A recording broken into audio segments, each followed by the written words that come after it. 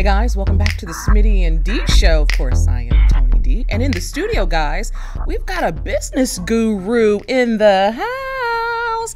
You guys, he's a best selling author, coach, speaker. Welcome to the studio, Dave the Business Bully. Thank you so much for having me. Hey, Toni. How are you? Absolutely awesome. I see that you are a little lighter from the last time I've seen you. Uh, Congratulations. Well, thank you. You did this. I'm trying. So, how much weight have you lost so far? 312 pounds. Jesus. Can y'all stop saying that? I feel like Don Jeez. Cheadle on Kevin Hart show. Everybody I'm sorry. damn. I'm sorry. Yeah, I'm sorry. It's okay. I'm sorry. It's a lot of weight to lose. Yeah. Okay. Well, It's like half the people in this room. yeah. Yeah. Well, It's a lot. yeah. it is. Yeah, yeah. So, how do you feel? I feel like uh, in shape people have been holding holding out on me. Like I feel like I got superpowers. Yeah. Like to just, I mean, simple things like running up the steps and not needing an oxygen tank is really good. And you know, like seeing parts of my body I'd never seen when I looked down, absolutely phenomenal. So it's it's been great. Well, okay. Absolutely. We're gonna leave it right there. Yes. All right. So, Dave, the business bully, Mm-hmm. you feel like talking about a little bit of business and why people are screwing up? Yes. All right. I'd love to. All right. First question I got for you: All right, let's go. You ready? I'm ready. Why are black businesses failing? Who? Or big black? I mean, businesses in general. Why do businesses fail? Well, um, I, I'm black first, so let's talk about black people first. There you go. Um, we believe the myth of business. What's the myth? Oh well, if you build it, they will come. I'm just, I'm just going to put it out there, and then I'm going to act like it's 1983, and I'm going to use word of mouth marketing because that just works so well all the time. It's so predictable to my bottom line. And why should I bother with bookkeeping or attorneys or accountants? No, no, we don't need none of that. We'll figure it out as we go. Mm. And then we wonder why we don't follow up. We wonder why we don't have um, enough money. We wonder why we have more month at the end of the money. We wonder why we have to lay off employees. We wonder why our families are saying, why don't you go back to that good job you left? because you're listening to people who got fake teeth telling you to jump and everything's been handed to them. So, um, Not fake teeth. yeah, listen, I said what I said, but a, a lot, a lot of what's happening comes down to this myth, fairy tale, Disney version, Shark Tank profit type of vibe of entrepreneurship. Everybody's trying to get to the bag, but nobody wants to get to the foundation because the foundation's not sexy. Mm. Well, there you have it. Do you think black people are built for business? Of course, we are. How so? Um, how far back do you want to go? Let's go. in, in Africa, we did everything. We created medicine. And I mean, even when you look at what we did for Europe, when you talk about pulling white folks out of the dark ages, I mean, folks were sleeping with their animals. We built them pens and stables and things of that nature. To this day, culturally in our DNA, we have a thing about, you know, kissing your dog in the mouth and not sleeping with your pets, unless you're one of those weird pet ladies. Like everything we do, we make better. Mm. You know, we literally won the Revolutionary War, and I'm not talking about Crispus Attucks' epic sacrifice. I'm talking about the African mothers who taught General Washington how to heal wounds with salves and herbs and things of that nature. Mm-hmm. Like we we we've invented everything that matters in this world, and we continue to innovate. It's just that we're busy innovating and not maximizing on the actual profitability. Mm-hmm. So, what should we be doing as as far as business owners? Stop performing, start managing. What do you mean by stop performing? Okay.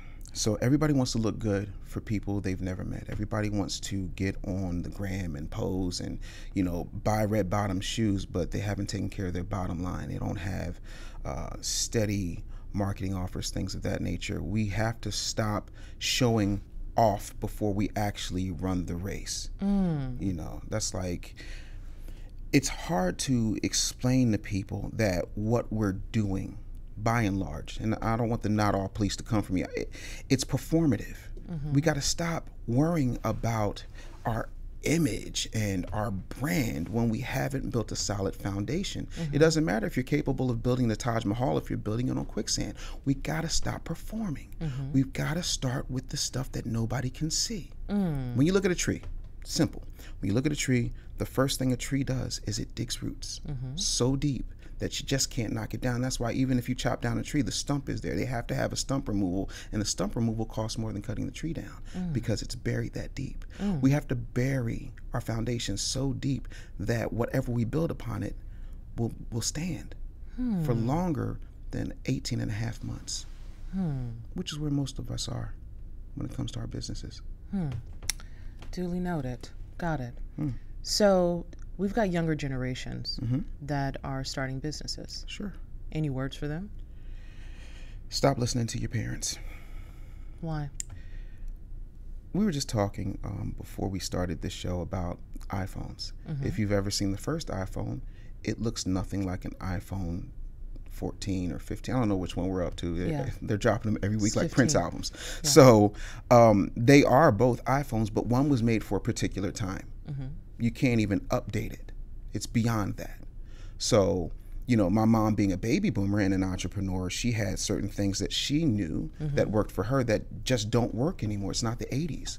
And so you should take what they say with a grain of salt, but you need to find somebody who is doing mm-hmm. what it is that you're trying to do, who has already learned the lessons and taken the bumps and the bruises like they're Teddy P, and learn from them. Because a lot of times we are built based upon our fears. And so we'll tell our children, hey, don't do that because if you do that, then this can happen. And you have all these things to fall back on. Everybody I know who started a business who has something to fall back on fell back and didn't get up. Mm. So that's the first thing I would say. The second thing I would say is stop doing everything by committee. What do you mean by that? When you are doing something, when God gives you a vision, He gives it to you. He didn't give it to your friends. He didn't give it to your homeboys. You know, He didn't give it to uh, your friends in your group chat or your fantasy football friends. He gave it to you for a specific reason. Trust in that. We don't trust that still silent voice inside of us. And I think that's a mistake. I think once you've got it really fleshed out, then you want to put it up against your board. You should have people who you can actually trust, who are in that same type of vein, who understand what it is that you're going through. But just telling everybody, hey, I'm going to start this thing. Everybody's going to tell you everything that's wrong with it. Everybody's going to start poking holes in your business. And what happens is that low self esteem that you've been wrestled with, and that has been indoctrinated in you, it's going to rear its ugly head and it's going to come up to your surface and it's going to burn you like acid reflux. So um, be very careful who you share your dream with because God gave it to you for a reason. Now, I'm sure you've launched several businesses. Yeah, a couple. Have you ever failed at one of your businesses? I'm not done. What? and how did you handle it? Wow. I failed a bunch of times. Uh, Why? my- Why do you think you failed? I'm never wrong. I'm always early. Explain. So, um, in 1999, um, a good buddy of mine says, you know, you're you're sending these digital files, and I was doing a lot of production and commercials and radio, and right around the turn of the century, we were still using reel-to-reel tapes to send off commercials across the country. I remember those. I days. still have. If you look closely at my fingers, you'll see the cuts from the razor blades from me using from splicing tape. Yeah, I was just telling Right. somebody that. The- and- My producer. Yeah. My my my my kids at uh, Temple when I talk about that, they're like, "You mean you had to cut yourself?" No, I didn't, but it's just a hazard. So I said we could save a lot of time and a lot of money on the FedEx bill if I could just send these things out MP3. So I created this company, built this website called MP3Imaging.com. And I got a couple of stations, they were into it, but it crashed and burned inside of three months mm. because everybody was still reeling from a little thing called Y2K. And they thought that anything that had an attachment, because most people weren't sending emails with attachments in 1999, early 2000, they thought it was a virus because that's all that was permeated through the news. And I failed miserably. And I was okay with that. Uh, 2003, I had a business called hitmeonthehip.com, which was really focused on two way paging.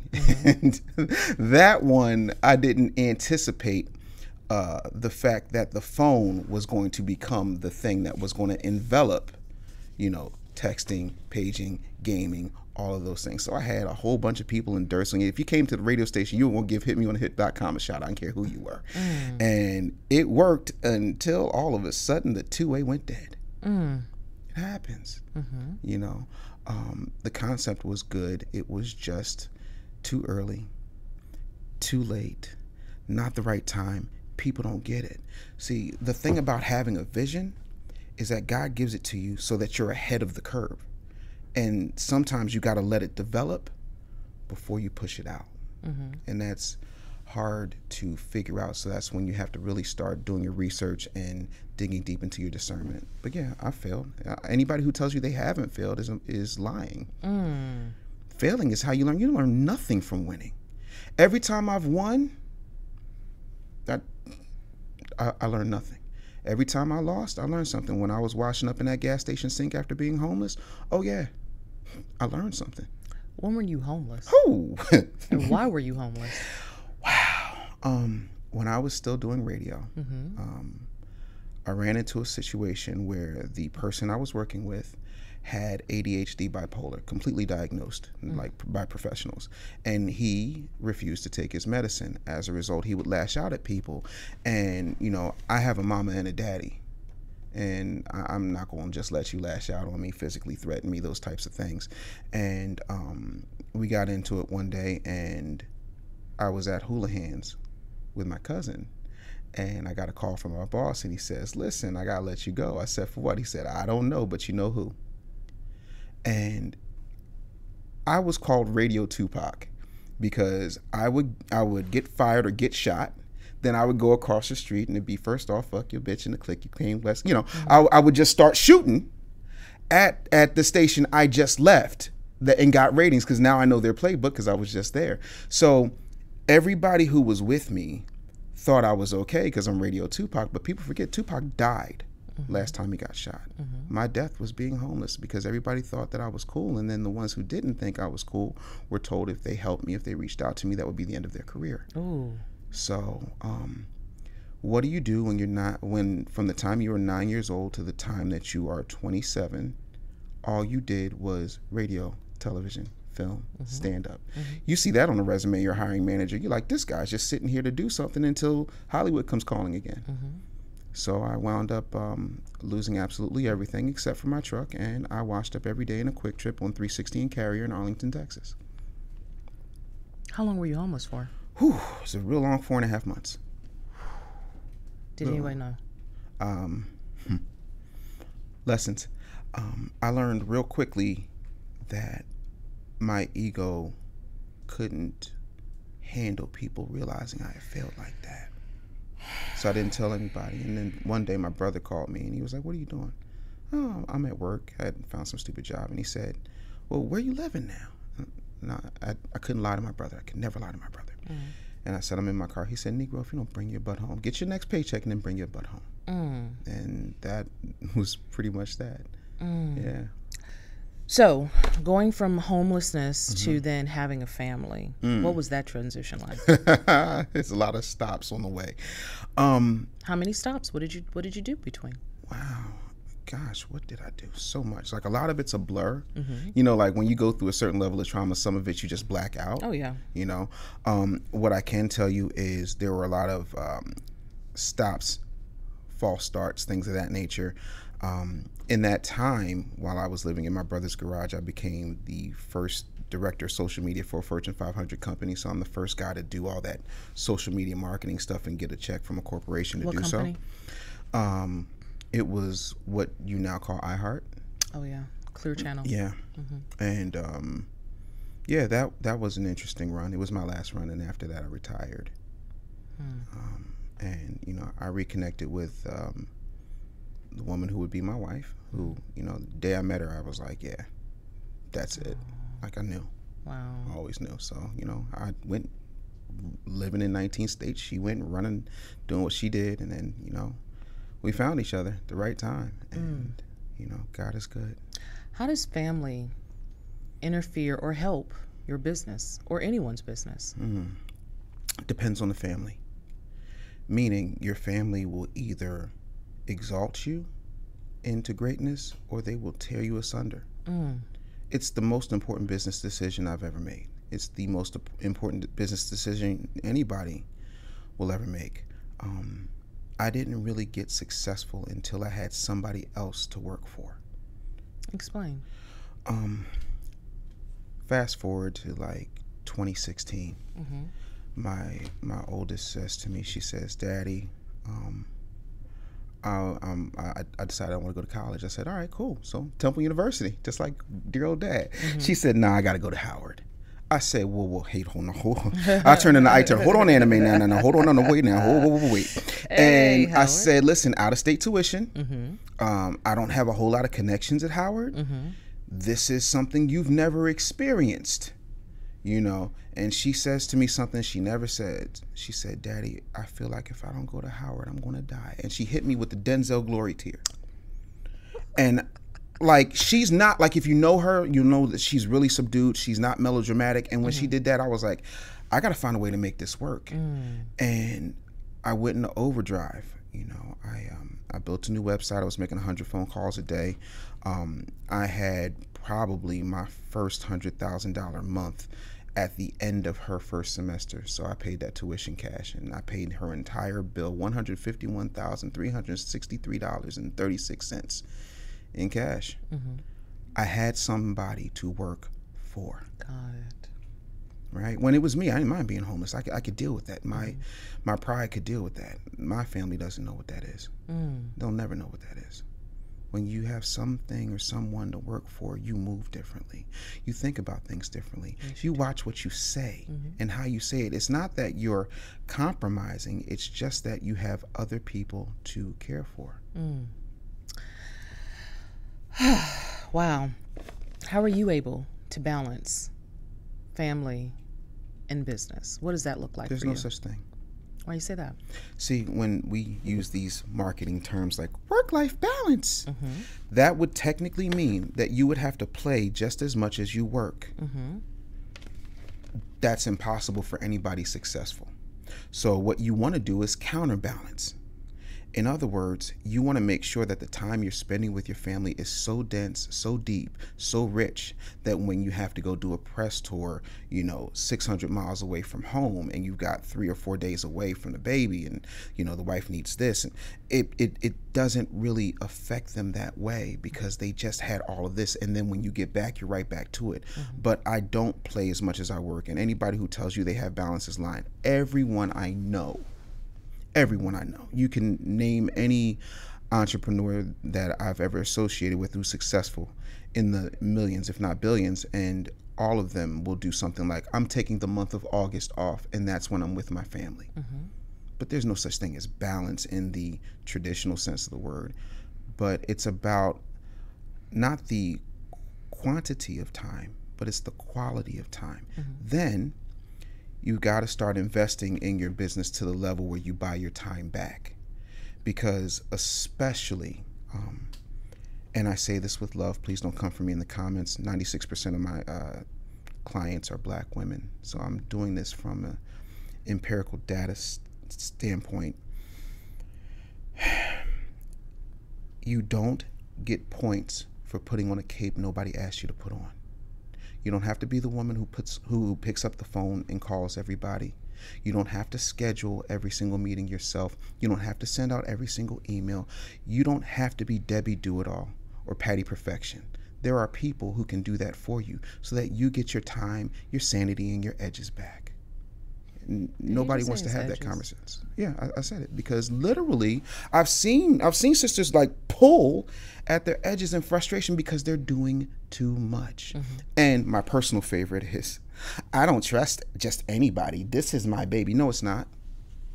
It's your business. It's not your baby. So you've got to start changing the mentality and finding things that are absolutely essential for you to do and everything else you outsource. Because you want peace, not balance. You want success, not a superhero cape. Hmm. Period. I hear that. Let's talk about black men in business. Sure. Had a guest on, Pamela Booker. We talked about why women, black women, are, I guess, they're promoted so much into in black businesses. Mm-hmm. How difficult is it for black men to own businesses now? what are some of their challenges? What are they facing?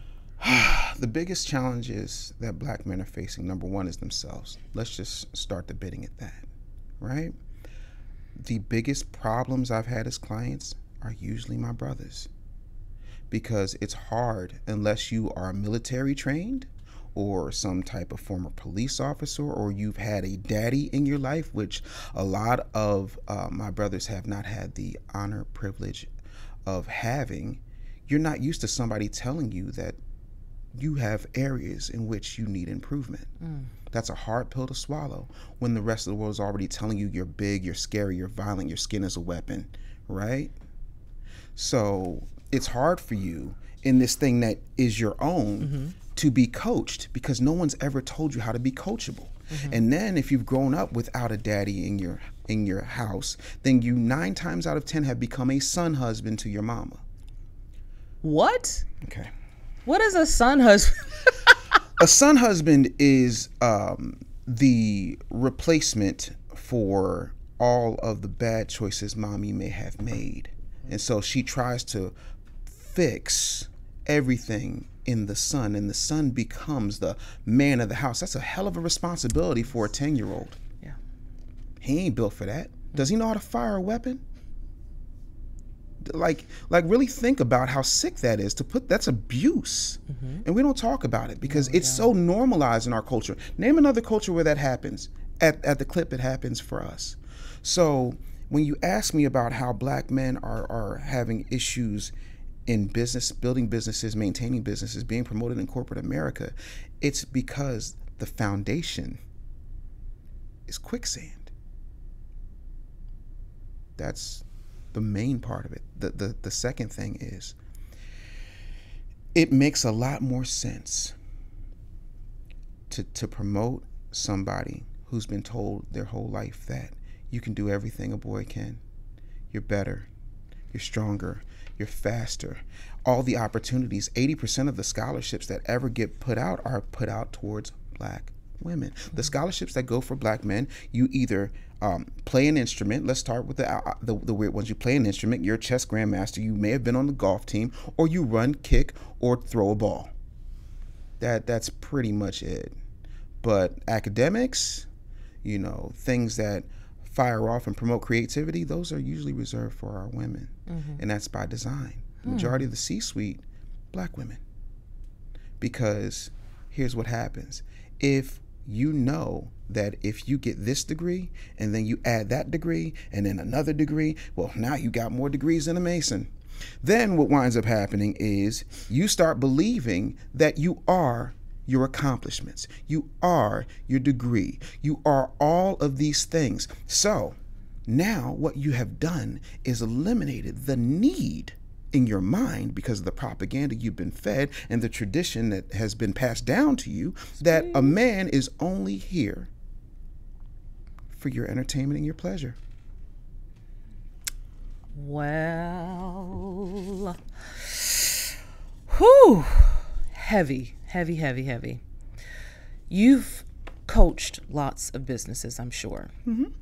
I'm sure you have an idea of what a successful business owner looks like. Sure. Can you give us an idea? A successful. You know they're going to succeed. You're like, nope, they got it. Yeah. Um. Hmm. Toni, I want to make sure I answer this as concisely as humanly possible a successful business leader I can tell within five minutes mm. because they're not the loudest one in the room. Mm-hmm.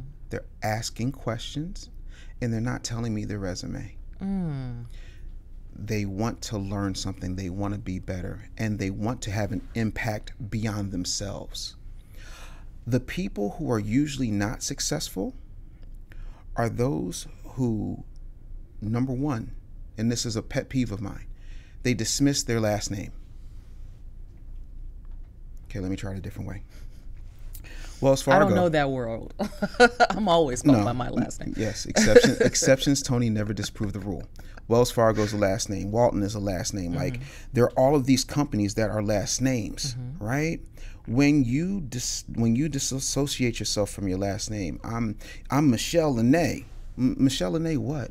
Who are you playing for? Mm-hmm. That hmm. tells me you're only playing for you. And if you're only playing for you, you have a selfish mentality nine times out of 10. Or you really hate your last name. And even if that's the case, Do what other people do. Take $35, go to the courthouse and make a last name worth having that you're not embarrassed by. Hmm. That that's the thing. You have got to work for a legacy. If you work for you, then it starts and stops with you. When you die, so goes the thing. That's a problem. The other thing I know when I can see that somebody is going to be successful is they don't flinch when I tell them absolutely everything about their business, about their customer service, about their process, about their systems or lack thereof that is downright but ugly. Mm. They're like, oh, cool. I'm taking copious notes right now. Cool. Oh, my, my, my emails suck, Dave? Damn, I didn't know that. I should do copy. Okay, cool. Got that. Because when you stop learning, you should be dead. You have absolutely no no purpose to serve humanity. You should be in a constant state of learning. Entrepreneurship is the ultimate college.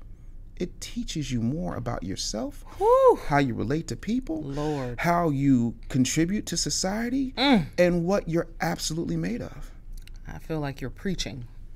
I've been to that school of hard knocks. A few of us in this room has. Listen. It's been it's been a tough one. Feel like I'm in the 23rd grade. Lord, mm. are there any resources, books, or anything that you could suggest to entrepreneurs? Oh wow, yeah. There's there's so many. Um, the first thing that I would say is if you want to learn something, right? Google has a bunch of certifications you can get because everybody and their mother's afraid of ads, right? But at some point, you're going to run out of the whole organic thing. So I think you should probably go um, to Google and get a Google Ad certification. I think that's extremely important. I feel like you should be reading Carnegie's How to Win Friends and Influence People. I feel like you should um, read everything by Robert Kiyosaki. Rich Dad, Poor Dad, the uh, the Capitalist Manifesto, phenomenal book. Uh, I feel like Daymond John's The Power of Broke is, is an excellent read. Get the audiobook because Sway reads it. It's phenomenal. Um, This way. I, I, I like Sway a lot. Good dude. Um, I also think that you don't have to sit around and think so hard and try to figure everything out. Um, I think you need to start spending some time on what it means to um, outsource in a real way. So, Four Hour Work Week, uh, great book if you've never read it. Okay. Um, so, yeah, those are my top recommendations, barring any books that I've written. Hmm. Hmm.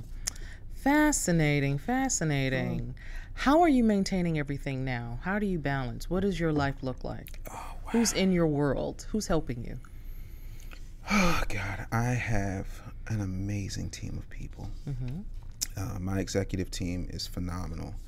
Um, I have um, I have a therapist on my team for my clients because this um, it's a mind fuck. That's the only way I can put it. Entrepreneurship, if you're doing it right and you're on this path, it is a mind fuck because you go through these huge successes. You go through um, hashtags and retweets. You go through the moment where you go Going viral, viral. and then all of a sudden the next video does 200 views, and you're like, "What the? But the last one just did five Hi. million. How did?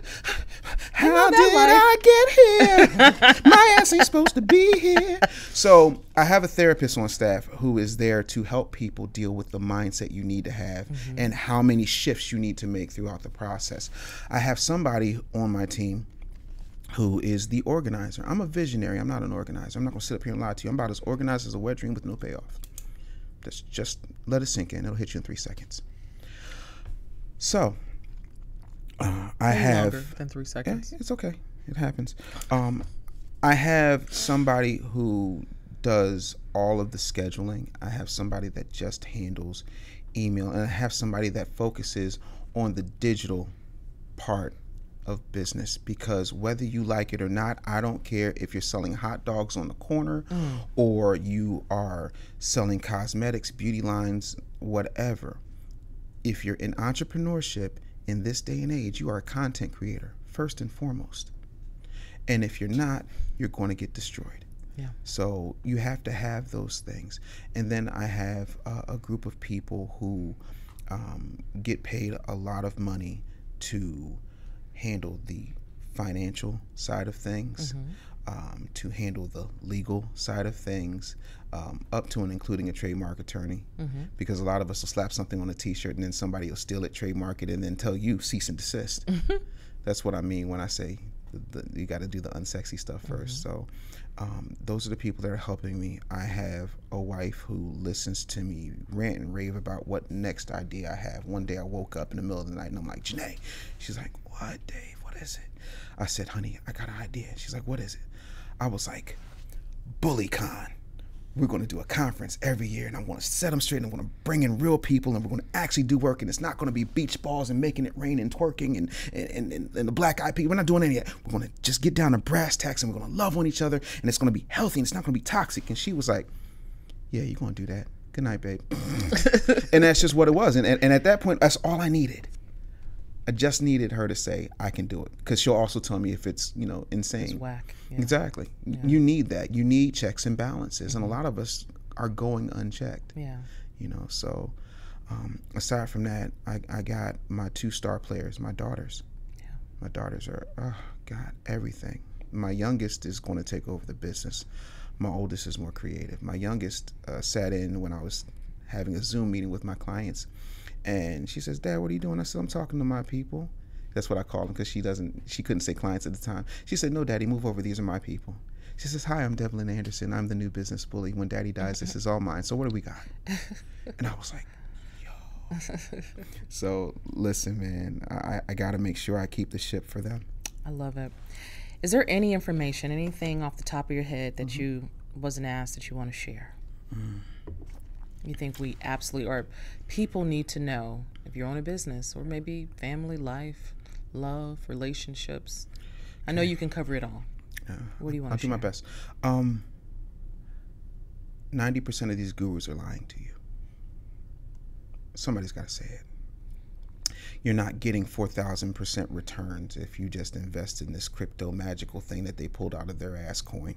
Um, these people who are telling you that all you got to do is just work out and buy these particular brand of yoga pants and this, that, and the third when you've gotten a BBL, a tummy tuck, a facelift, an eyebrow lift, and a whole bunch of other stuff. But the the the tea that is making you um, I don't know dehydrated is the thing that's getting you to weight loss. There is no magic bullet. There is no quick fix. They only make money off of you. They've never built anything that they can show for. You can throw me in any city and I, I can point you to somebody who's gotten at least six figures from what I've taught them. Most of them can't say that. They never point to their clients. They always point to, look at me.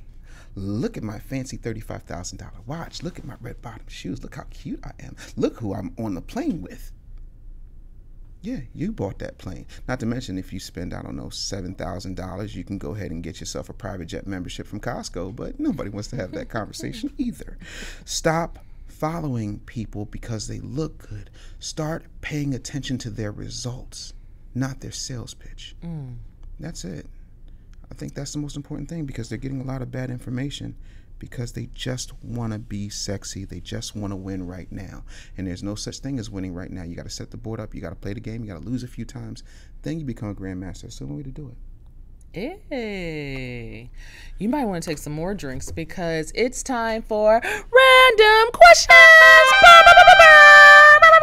I am going to buy you people an air horn. You don't need it. we are the air horn. Clearly. You hear that? All right, sir. Yes, ma'am. How much does ego play into what you do? Oh, man, let me tell you something.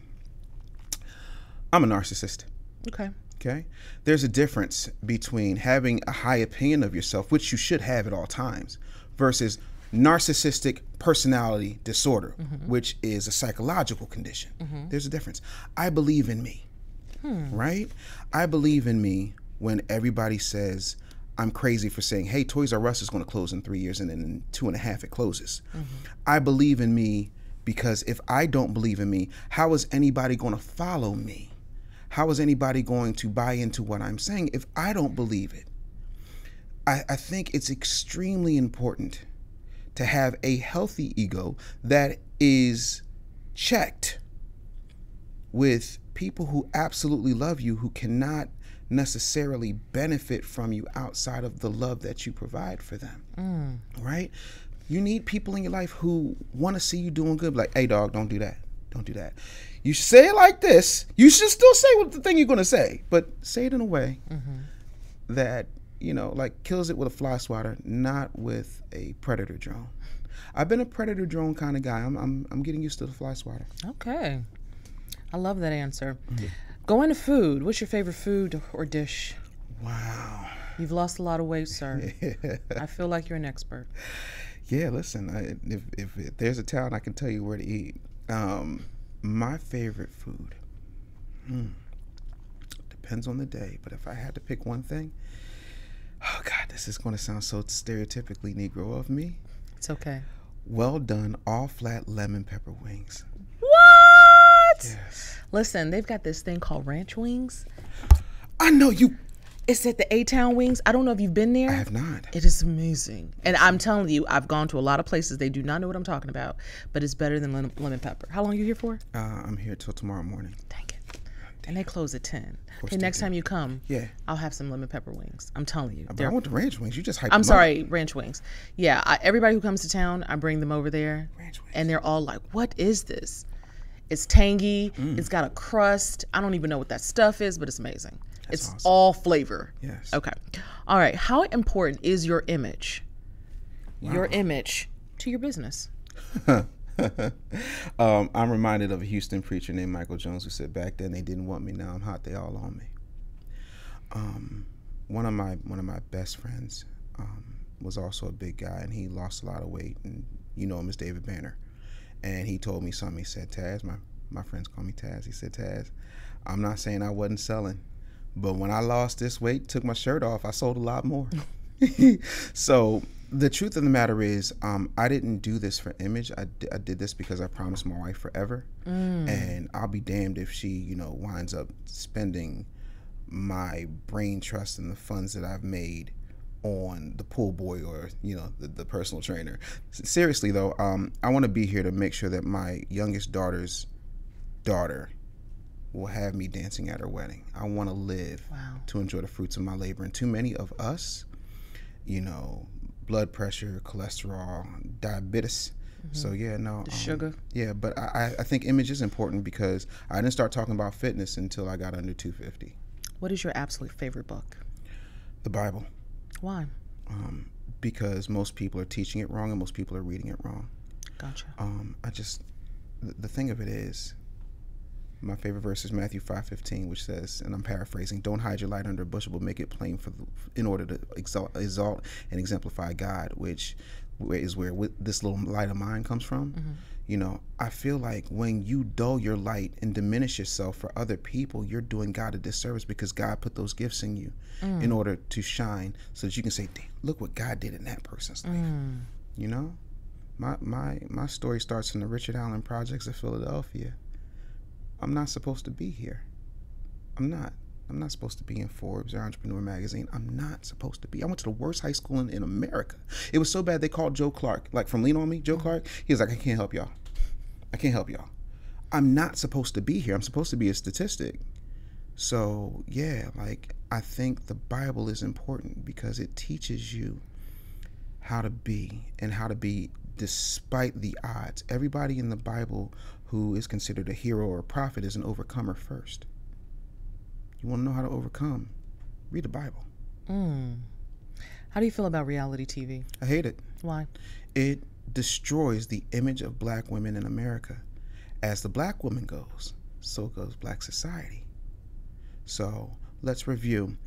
You would be hard pressed to, to find a show where you actually see black women who are actual entrepreneurs, not some fun little boutique in the mall, not a kiosk, not I've got an eyelash line, but actual entrepreneurs. You know what you do see though? A bunch of women who are throwing drinks at each other, talking bad about each other, talking about each other, smiling in each other's faces, backstabbing, and then talking about how this baby daddy loves me more than he loves you and I'm still sleeping with him even though he's with me and not with you like it becomes a whole thing and then that image goes out into the world so then you wonder why so many black women are quote unquote not protected, not respected, mm. treated like the animals. You you wonder why when you go to a hospital, they say, "Oh, she don't need anesthesia." Because you're strong and independent, because that's the image that's out there. You're loud, you're boisterous, you're weave wig wearing, you got Snuffleupagus eyebrows out there. Here you got a BBL that's killing you and your thighs don't match. And then let's not get started on what they do to black men. They're either completely emasculated or there's some type of um, thug Tupac caricature that completely eliminates the ability to express our intelligence, our creativity, and our need to not only protect, provide, but actually nurture a woman in a place where she can feel safe to be who she is. And then on top of that, you can't point to a reality show that does not have somebody who does not look like us um, at the helm. Up to including the love and hip hop ones, because everybody focuses on how bad Mona Scott is, but nobody says anything about Jim Ackerman. Social me- media is making us less social. Talk mm. about it. The thing about social media is that it's designed to bring us together, but it's pulling us apart because we're putting on the best representation of ourselves. We're putting on a filter and an angle and an angle, Mm-hmm. meaning we using it from an aesthetic uh, point of view, and we're also using it from whatever we're trying to hustle and pitch. Mm-hmm. We're not being who we are because we're so afraid if we show people who we are that they won't like us, and we're so busy wanting everybody to like us. I don't care if you like me or not. Mm. That's not what I'm here for. Mm. You know, I'm listen. I'm not here to bring a shield, but a sword. Mm. My favorite person said that, and I stand by that. We have to take a hard look at what's being poured into us and what we're using. I'll put it another way. It is a fact. You can Google this when you have nothing better to do. The Chinese government runs TikTok. And there's two TikToks. There's TikTok and then there's Douyin. Douyin is the TikTok that they have in China. And you can only be on it for 40 minutes a day. You can um, you can't be on it overnight, like it shuts down after the sun goes off, right? Then the algorithm is set to show you beauty and achievement and education and excellence. Our algorithm is showing us stupid human tricks and ball-headed hoe shit and twerking and you know putting um, firecrackers up your behind. It's true. It's true.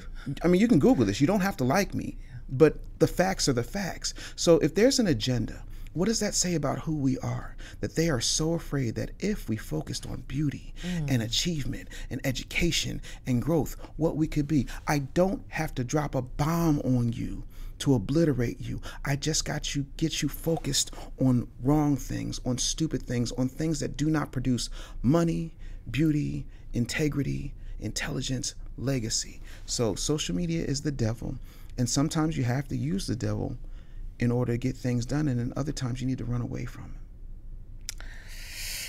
Whew. Not quite switching gears. Sure. But what trend do you absolutely want to see go away? Or set of trends that you mm. want to see go away? Bottle wars. Explain. So there's this thing now where you see Negroes in the club, and they'll take expensive bottles of liquor that they could have got at the liquor store for thirty dollars, but they paid four hundred dollars a bottle, and they're standing there, do a dance on the floor and around, and they pour the liquor out on the floor. And I'm not talking about a little bit for the homies. I'm talking about all of it, just to say that they can waste this money. Mm. Do you know how much we could get done with the amount of money they're wasting in the clubs that they do not own? yeah, I, I need that to go away. I'm going to need us all, and when I say all, I mean all, to certain and varying degrees, but all of us are addicted to the newest designer drug out there. And nobody wants to cop to it, Tony Neal. What is it? It's clout. Clout is the new crack. Explain, sir. Um, every time you get a like, a share, mm. a retweet, Yes. a post, somebody famous following you, mm-hmm. you stick your chest out and you're feeling good because the same dopamine receptors that happen when you hit that crack Yep. fire off mm-hmm. in your brain when you see that click, that like, that share, mm. because you have nothing in here mm. That drives you. I'm still Dave Anderson without the business. I'm still Dave Anderson without the radio. I'm still Dave Anderson. If nobody else ever interviews me again, I am still me. I still have me. And that's what I learned washing up in that gas station when I was homeless. I still have me. Wow. And I'm enough. It doesn't matter what you think of me. How do I view myself when I'm in that mirror? You know, and, and, and that's the thing that the clout the clout thing. We need clout rehab in the worst way right now. Um, lastly, um, Kardashian worship needs to stop.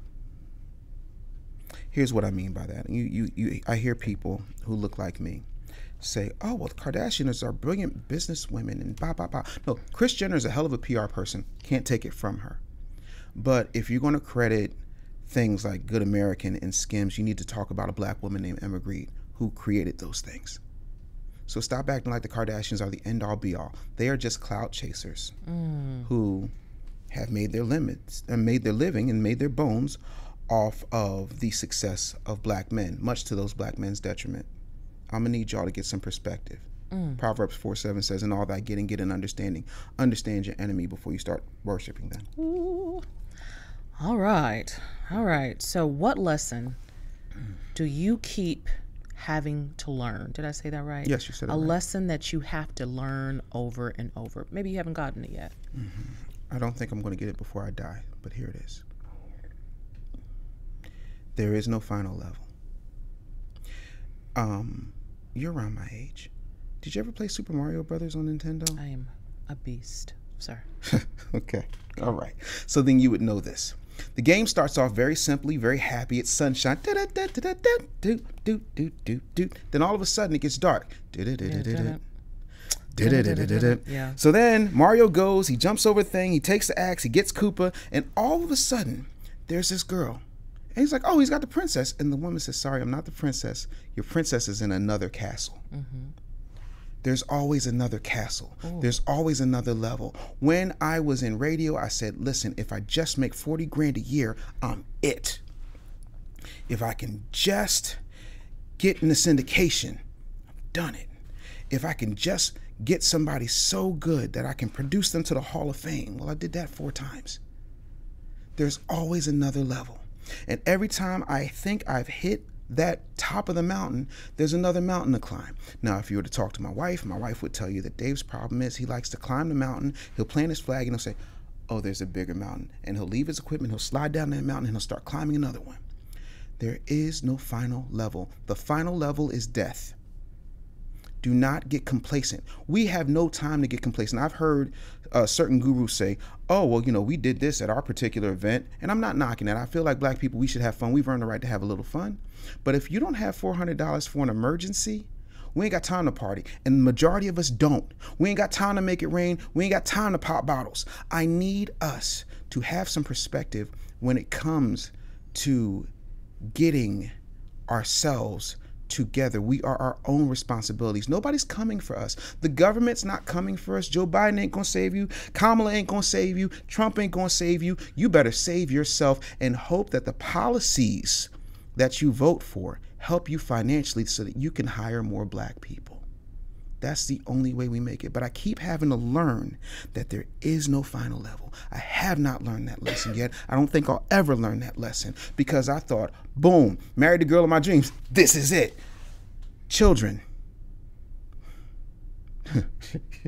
There's always something else. What's next? What's more? That doesn't mean you neglect everything else. It means that you need to be striving for something better than that. Mm. Otherwise, you're not fit to live. And I have not learned that yet. Preach. It's the end. You- You're going up to the pearly gates. Hmm. What, what do you hope God say to you?